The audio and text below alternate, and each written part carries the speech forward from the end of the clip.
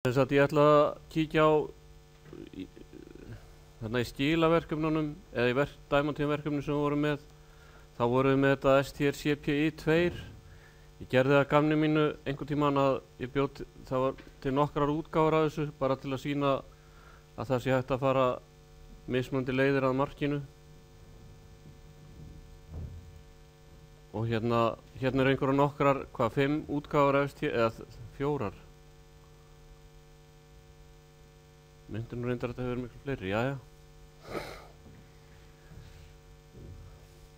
Ég er rauninni að gera óskurs svipaðan hlut eins og ég gerði með STR CMP að hér getum við sett inn við tökum inn eitthvað fylgi A og B og og hvað svo segjum við hérna meðan að við fáum ekki bænari 0 þá tökum við það sem er í í hérna B í staki nummer I og setjum það í staknúmer í, í A svo hækkum við bara í um einn.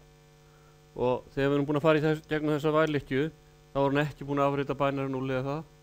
Þannig að við verðum að klára, að klára með því að afrita bænari 0 yfir í A. Þetta er svona að afritar A yfir B eða ekki? Nú við getum alveg hérna STR-CP3 þá getum við alveg eins nota þetta karstjarn A eða karstjarn B.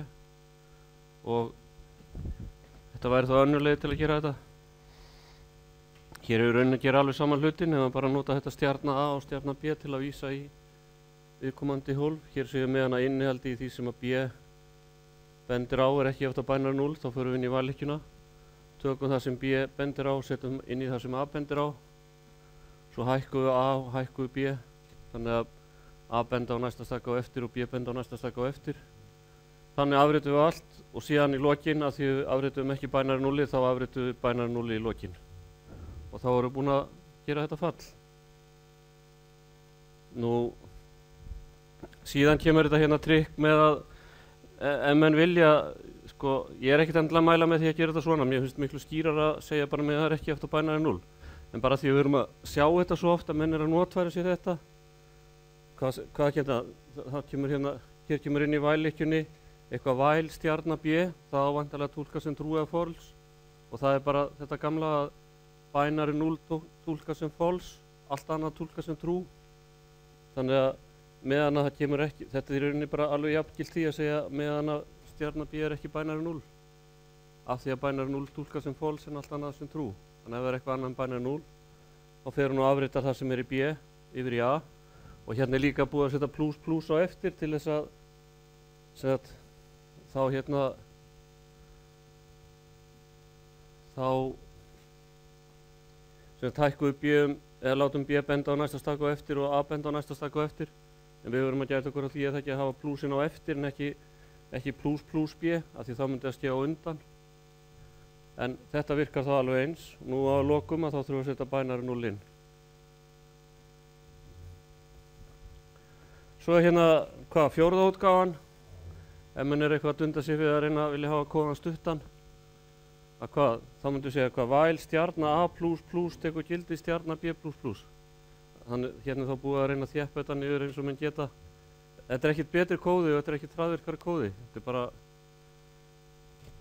hérna hvað, þá, þá tökum við það sem er í B og flytjum yfir í A og, og hérna og í rauninni þegar hann er búin að flytja þetta yfir þá tekkar hann á hvort að kemur trúið að fólks hann fyrst framkvæmir segðina svo þegar hann fær niðurstöðu segðinni að þá, þá tekkar hann á því hvort það kemur trúa fólks út úr segðinni. Þannig að þetta myndi taka það sem er í B, flytja yfir það sem er A og síðan tekkar hann á því að það bænar í 0. Þannig að hér myndi hún færa bænar í 0 áður hún tekkar. Nú síðan hækku við bendanum 1. Þannig að það væri þá hægt að búa til þess að STR-CP fall bara með þessar einu línu hér. Og í rauninni, þið sjáu, þetta er allt saman gert inn í væl skilirinu, þannig að það er rauninni aldrei farið inn í loop body getjum bara semikoma. Það er engin loop-body því að það, það er framkvæmt í afritunin fer fram með það ekki í stílirsetningunni stílirsetningin framkvæmir allt kemur eitthvað stílir trúa fólks út en til þess að fá trúa fólks út þá þarf hann að framkvæma allt það sem að gert er. Ég veit ekki hvort að þetta er bara svolítið gaman að sína þetta en hérna það kannski bætur og sko litlu við, ég veit ekki. Einhverja spurningar um þetta Þetta er allavega nokkra leiðir til útvarta fall sem áttum að skil í gær